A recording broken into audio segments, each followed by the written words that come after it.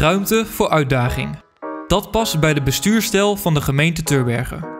En die uitdaging is evenals de voorgaande jaren opnieuw te zien in de begroting. In 2018 wordt er geïnvesteerd in duurzaamheid, maatschappelijk vastgoed en inbreiding voor uitbreiding. De maatregelen uit de begroting 2018 zorgen ervoor dat de lokale lasten over de afgelopen vier jaar gelijk zijn gebleven. Mijn dorp 2030. We draaien op volle toeren in al onze kernen. Ieder op zijn eigen manier met zijn eigen eh, DNA. En wat we zien is dat er veel creativiteit en daadkracht zit om de maatschappelijke opgaven die we samen kennen aan te pakken. En we hebben al veel voorbeelden gezien. De transitie van bibliotheken, eh, het investeren in openbare ruimte, het aanleg van kunstgasvelden. Maar ook gewoon lange termijnvisies waarin we duurzaamheid een echte plek willen geven in onze samenleving. En daar zijn we blij om als college, want dat is wat we gevraagd hebben. En daarom willen we ook als college nog meer ruimte vrijmaken om jullie te ondersteunen. Om initiatieven aan te jagen en jullie de kennis en expertise te geven die nodig is. Want samen, in co-creatie, pakken we die maatschappelijke opgaves aan. En een van die maatschappelijke opgaven zijn onze scholen. De bakermat van gemeenschapszin, creativiteit. Onze volgende generatie, de kinderen die daar hun plek krijgen en leren om onderdeel te zijn van onze samenleving. Die gebouwen zijn verouderd. We hebben te maken met leegstand en wij vinden als college dat we daarin moeten investeren. En dat stellen we ook voor in deze begroting.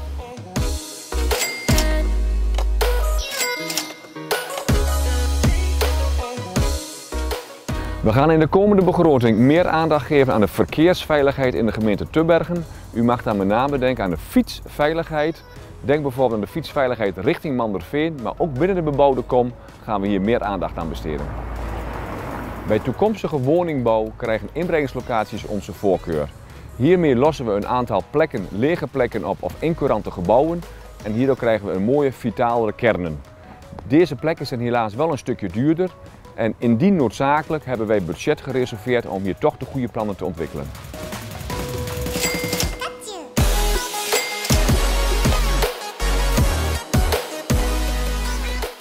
In onze begroting is democratische vernieuwing opgenomen.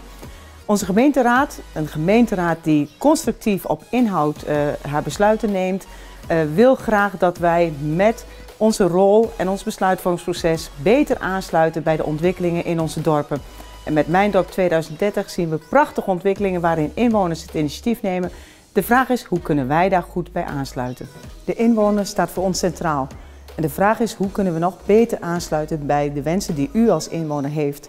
En daarom gaan we u in de komende tijd bevragen, zodat wij onze dienstverlening nog verder kunnen verbeteren.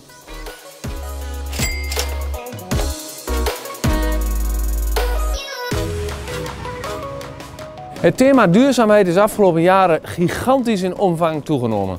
Dat ziet u ook hier aan de zonnepanelen hier op het dak van ons gemeentehuis. De gemeente is actief betrokken bij alle partners die bezig zijn met duurzaamheid. In de begroting die we nu vaststellen maken we anderhalf miljoen euro beschikbaar om samen met al onze maatschappelijke partners die energietransitie die we zo graag willen te realiseren.